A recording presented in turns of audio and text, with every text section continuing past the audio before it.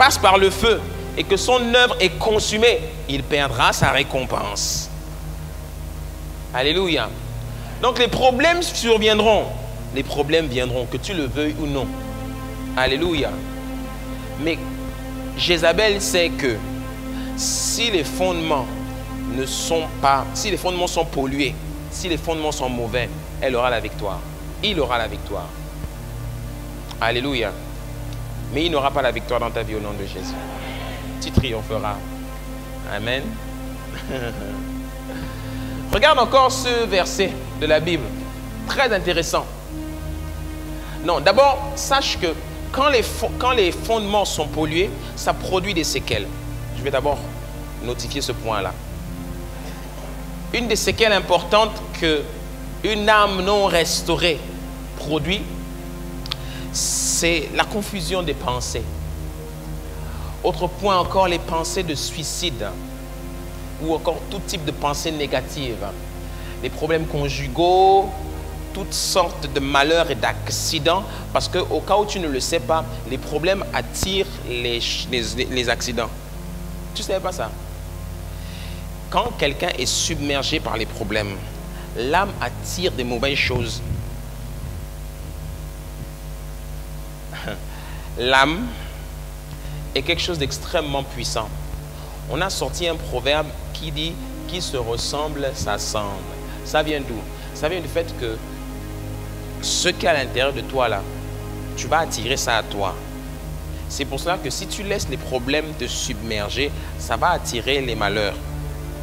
Les problèmes attirent les problèmes. Amen. Les problèmes sexuels, il y en a qui ont de tels états d'âme qu'ils en arrivent même à avoir des problèmes sexuels dans leur vie. Parce que leur âme n'est pas restaurée.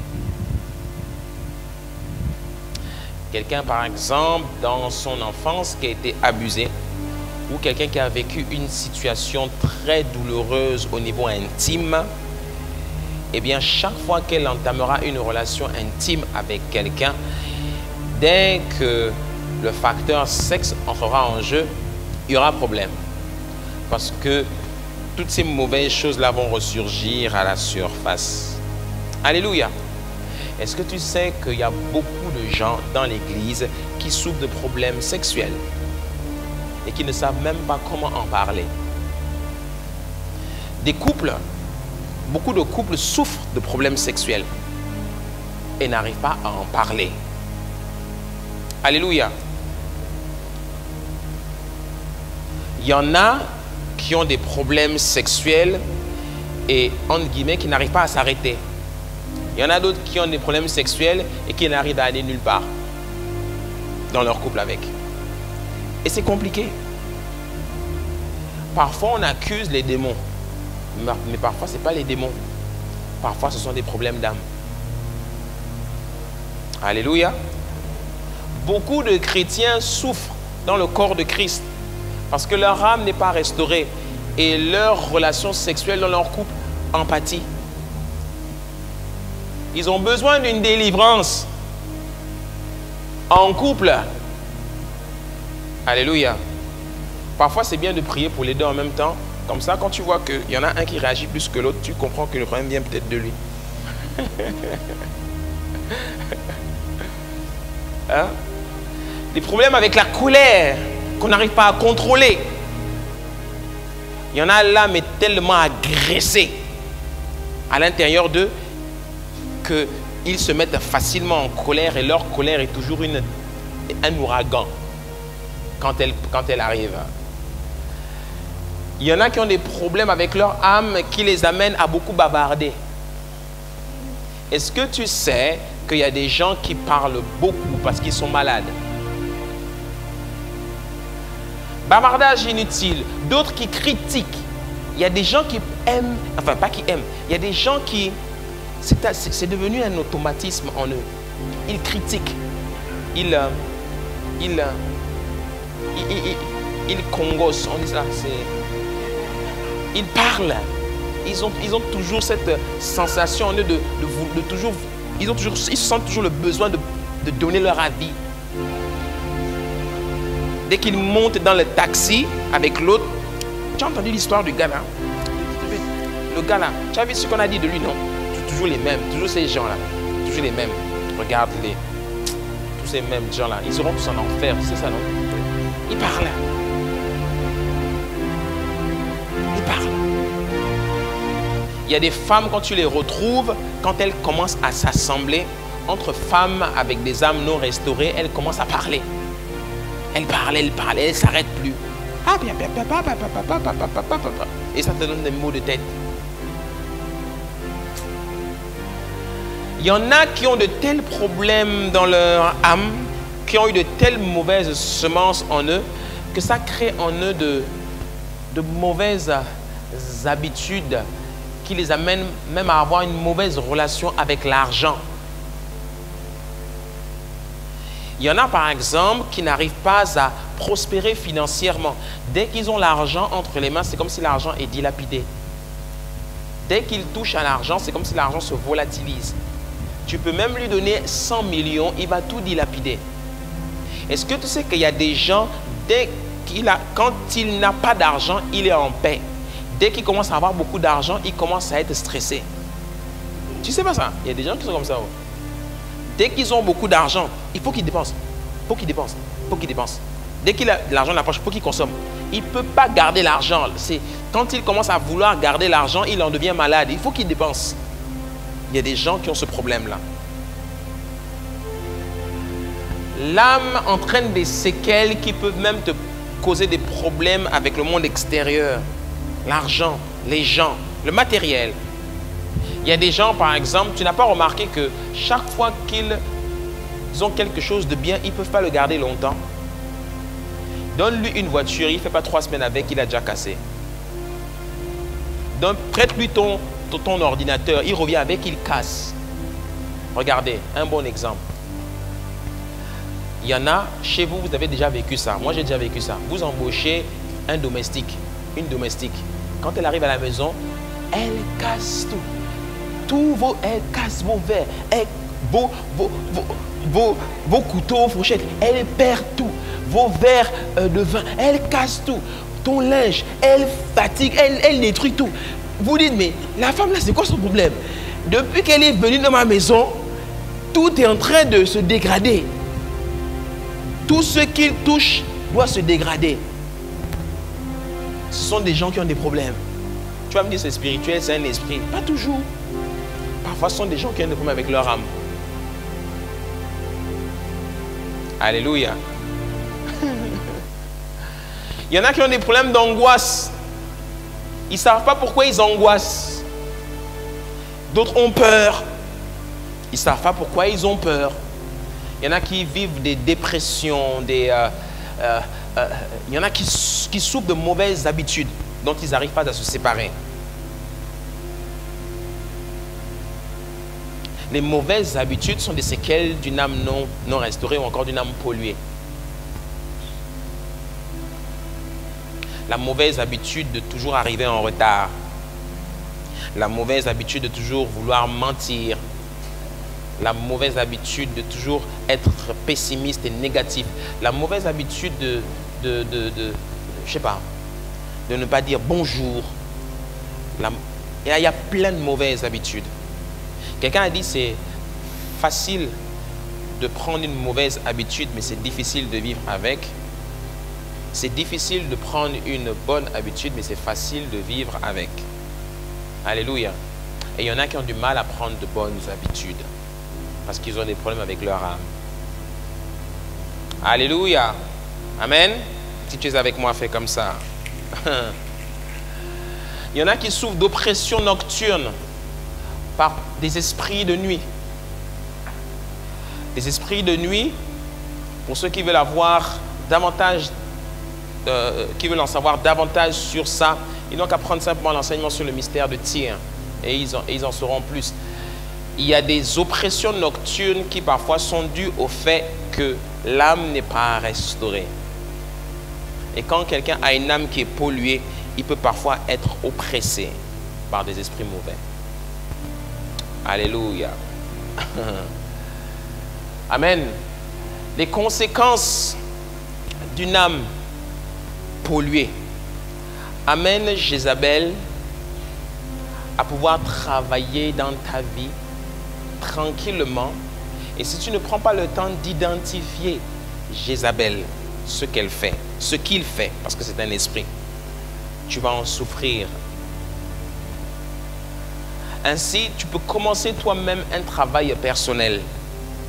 Tu peux commencer toi-même un travail personnel pour commencer à restaurer ton âme. Et tu vas voir que plus ton âme va être restaurée, et plus fort tu seras dans le combat spirituel.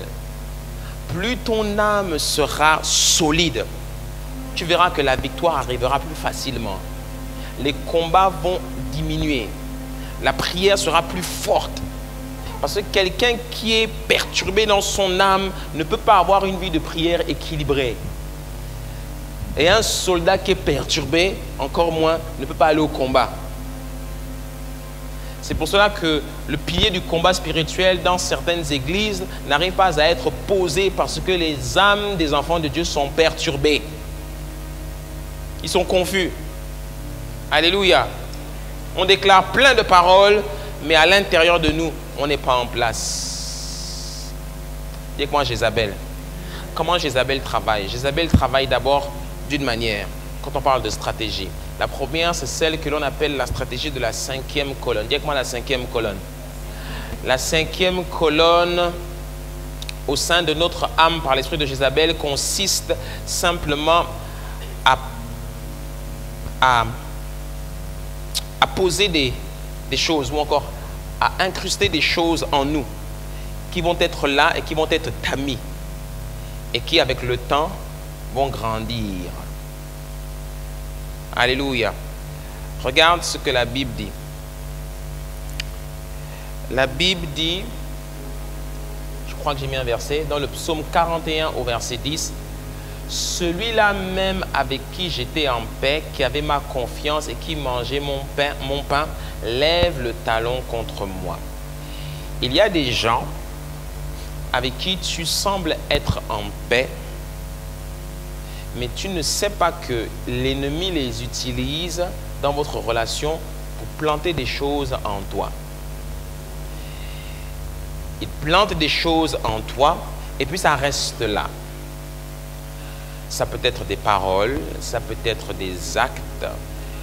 Le plus souvent, ces personnes, je les ai identifiées comme des Akab. Rappelle-toi qui est Akab. Akab était le mari de Jézabel. Hein? Et Akab était quelqu'un qui était rongé dans son âme. Hein? Et Akab était celui qui donnait autorité à Jézabel pour pouvoir détruire le peuple d'Israël sans qu'il ne s'en rende compte. Les Akab dans notre vie sont des gens avec qui on semble être en paix, voire qui ont autorité sur nous, mais sans que tu ne t'en rendes compte, lève le, ont levé le talon contre toi au travers de leurs paroles, au travers des actes. Il y en a qui, de manière consciente ou même inconsciente, agissent pour te détruire. Ils sèment des choses et puis, avec le temps, ça grandit. Et quand ça grandit, ça finit au bout d'un moment par t'étouffer. C'est ce que j'appelle la cinquième colonne. Il y a des gens dans ta vie qui sont la cinquième colonne. Des personnes que tu le saches ou pas, sont là et sont des accès pour l'ennemi pour pouvoir te détruire de l'intérieur. Et ces personnes-là, il faut s'en séparer. Ça peut être des personnes, ça peut être des activités, ça peut être des objets, je ne sais pas. Mais il y a des choses ou des personnes avec lesquelles tu sembles être en paix mais qui pourtant de l'intérieur ont levé le talon contre toi. Tu me suis? J'essaie de trouver le, bon français pour t'expliquer ça. Tu vois, non? Amen. Parce que tu me, tu me regardes de manière très religieuse depuis tout à l'heure. Et je me demande quel est ce regard? Est-ce que tu es en train de méditer à ce que je suis en train de dire? Est-ce que tu es déjà en train de, de faire le tour de ta maison pour savoir qui est coupable de ça?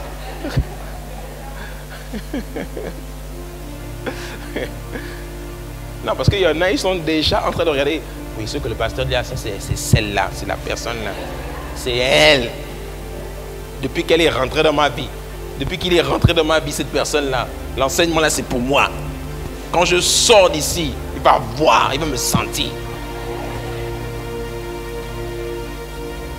Sois en paix, rempli du Saint-Esprit, d'un esprit d'amour et de douceur.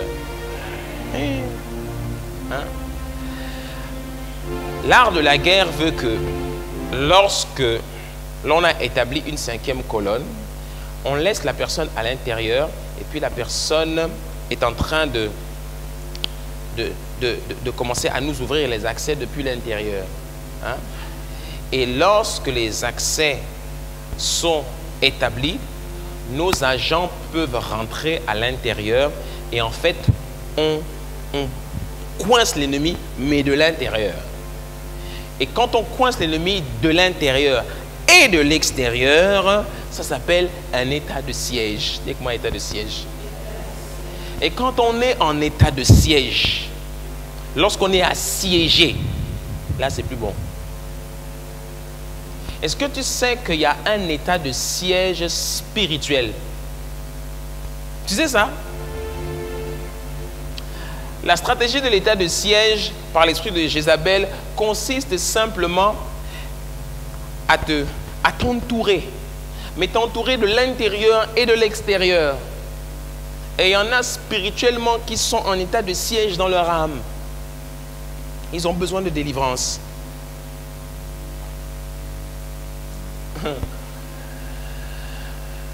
La Bible dit dans le livre de Marc, chapitre 4, verset 18, c'est Jésus qui parle. Jésus-Christ dit, d'autres reçoivent la semence parmi les épines, ce sont ceux qui entendent la parole, mais en qui les soucis du siècle ou encore les problèmes, la séduction des richesses et l'invasion des autres convoitises étouffent la parole et la rendent infructueuse. Voici le premier, la première conséquence d'un état de siège. La personne ne peut plus porter de fruits.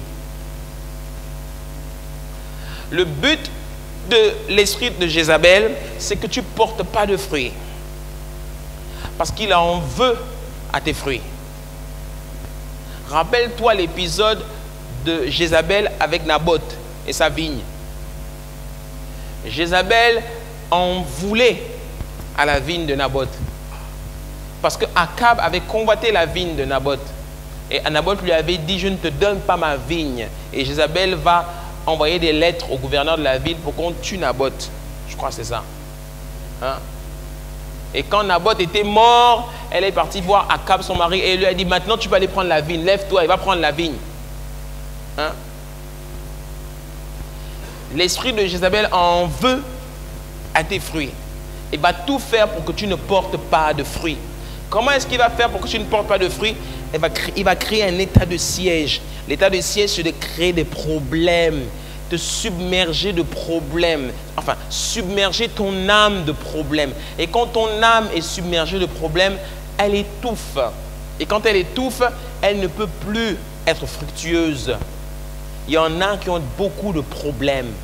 Jésus l'avait compris et l'a identifié dans la parabole du semeur. Les chrétiens qui ont beaucoup de problèmes, réglez vos problèmes. Vous ne pouvez pas porter de fruits si vous avez des problèmes. Pourquoi dans l'église de Jésus-Christ, il y a des gens qui ont autant de problèmes et ils ne veulent pas les résoudre? Alléluia. Tu vas me dire, mais pasteur, est-ce que c'est de notre faute si on a des problèmes? Les problèmes peuvent être réglés. Très souvent, même tu peux les régler en te séparant de certaines personnes et ce sera très vite réglé.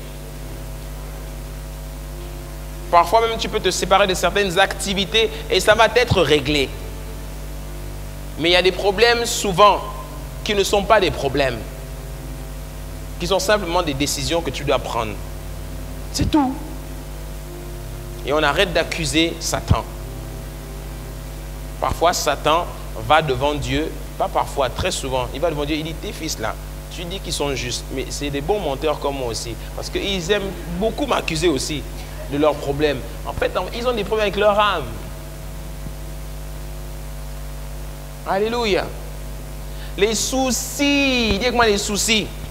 Les soucis, il y a une différence entre un problème et un souci.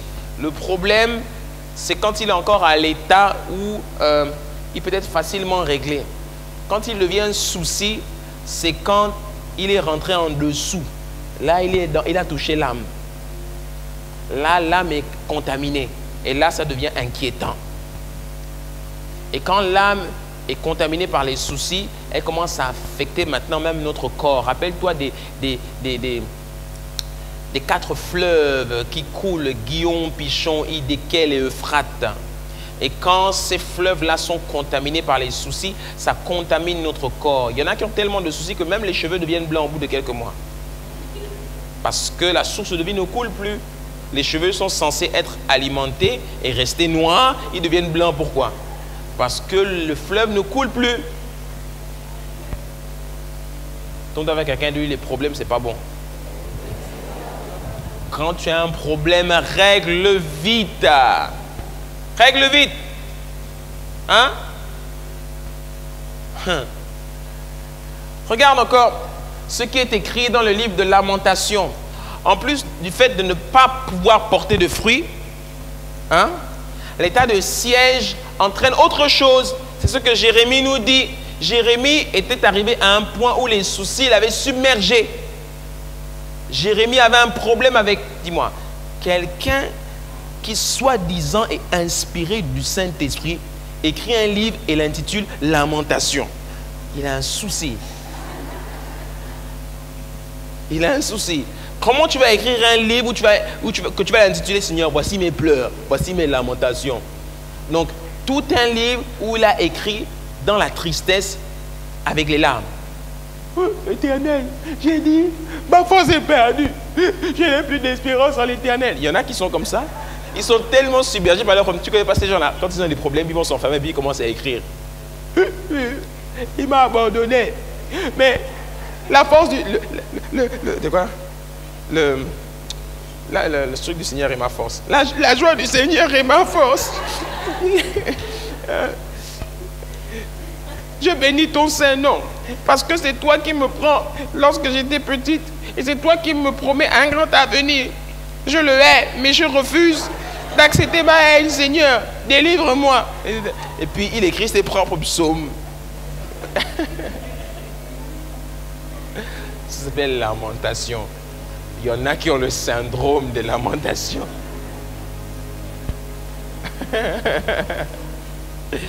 oui. Yeah. J'ai dit, ma force est perdue. Je n'ai plus d'espérance en l'éternel. Quand quelqu'un est submergé de soucis, il n'a plus de force. Il n'a plus d'espérance. Quand je pense à ma détresse et à ma misère, il est là, il ressasse à l'absinthe et au poison. Quand mon âme s'en souvient, quand ce gars-là m'a laissé, quand ma mère me battait, quand mon père me mentait, quand j'ai pas eu mon bac, elle est abattue au-dedans de moi. Voici ce que je veux ressasser en mon cœur, ce qui me donnera l'espérance. Les montées de l'Éternel ne sont pas épuisées, ses compassions ne sont pas à leur terme, elles se renouvellent chaque matin. Oh, que ta fidélité est grande. L'Éternel est mon partage, dit mon âme. C'est pourquoi je veux espérer en lui. L'Éternel a de la bonté pour qui espère en lui, pour l'âme qui le cherche. Euh, alléluia. La deuxième chose que les soucis apportent quand tu es submergé par l'état de siège, tu perds la force. Voilà pourquoi il y en a qui ont du mal à combattre. Parce qu'ils n'ont plus de force. Et ça, c'est une stratégie de l'ennemi. L'ennemi sait que lorsque tu es submergé par les problèmes, tu n'auras plus de force pour te battre. Tu dois savoir identifier certains, certains problèmes venant de l'ennemi. Tous les problèmes ne sont pas naturels. Beaucoup de problèmes sont spirituels. Beaucoup. Si l'ennemi discerne que toi, tu, tu perds ta force quand tu n'as plus d'argent, il va attaquer l'argent. Si l'ennemi sait que même sans argent, tu restes en paix, il t'attaquera pas là. Il y en a qui n'ont pas l'argent, ils restent joyeux. Oui? Oh. Il y en a qui, quand ils n'ont pas l'argent, ils restent joyeux. Il dit, Seigneur, je suis fauché, tu ne me donnes pas l'argent. C'est pas grave, je reste fauché. Ça va aller. Ça va aller. Il peut rester des jours et des jours et des jours sans argent. Il garde le sourire.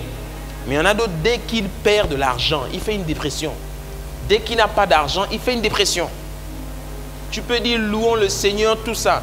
Et le problème, et c'est ça que j'ai remarqué dans l'église, excusez-moi de le dire, mais beaucoup dans l'église, on ne loue pas le Seigneur parce qu'on n'a pas d'argent. C'est vrai. C'est difficile d'amener le peuple de Dieu à arriver au niveau de la louange prophétique, souvent parce qu'on est bloqué par la pauvreté des uns et des autres. Les gens ont des problèmes d'argent.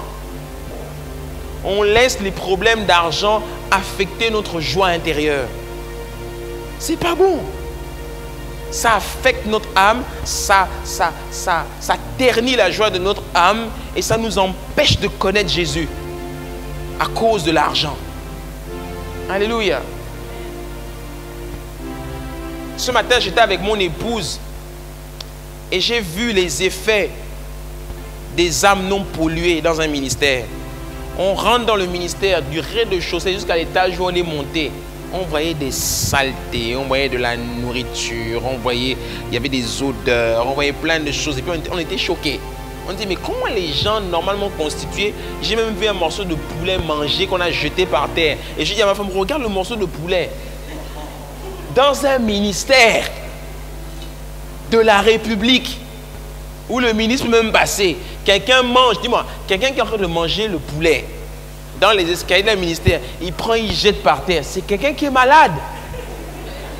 Il a un problème dans son âme. Ça, c'est un ministère j'ai identifié, un ministère qui était rempli de gens qui avaient des problèmes avec leur âme.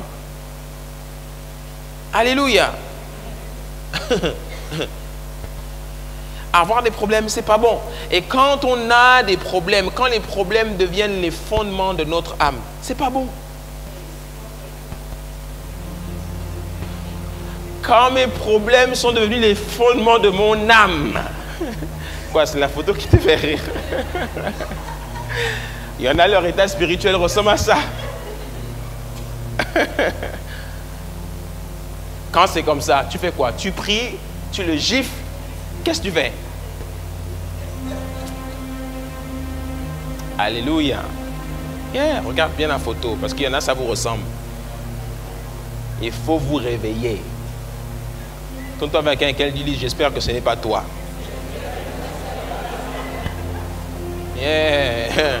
J'espère que ce n'est pas toi.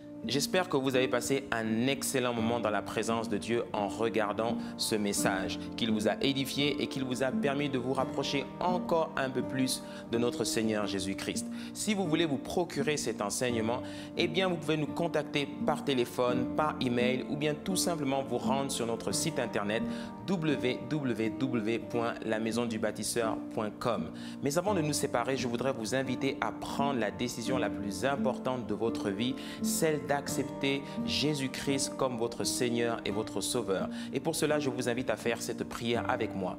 Seigneur Jésus, me voici devant toi. Je te demande pardon pour mes fautes et mes péchés. Aujourd'hui, je suis né dans le royaume de Dieu. Accorde-moi la grâce de marcher chaque jour selon ta parole et dans l'obéissance de ta parole. Au nom de Jésus-Christ. Amen. Bienvenue dans le royaume de Dieu. Maintenant que vous avez fait cette prière, méditez la parole de Dieu tous les jours. N'hésitez pas et continuez toujours de prier et restez toujours connecté à la présence de Dieu. Je vous aime et je vous dis à très bientôt. On est ensemble. Bye bye.